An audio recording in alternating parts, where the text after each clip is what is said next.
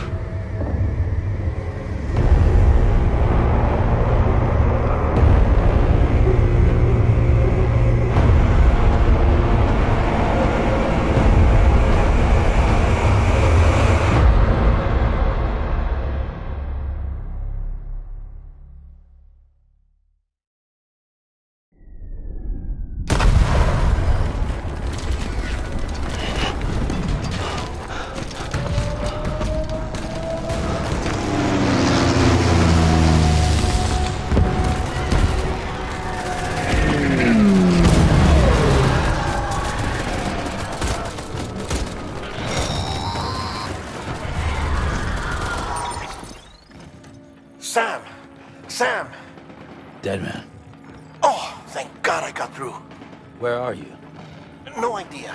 I'm seeing tanks and soldiers. The uniforms date back over a century.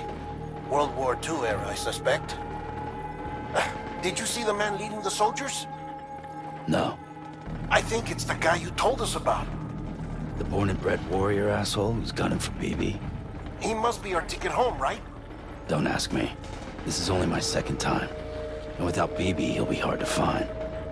Lucky for you, I've got BB here in tip-top shape, just waiting for you. Where should we meet? Is there anything unusual or distinct near you? I'm in the sewers. Hang on.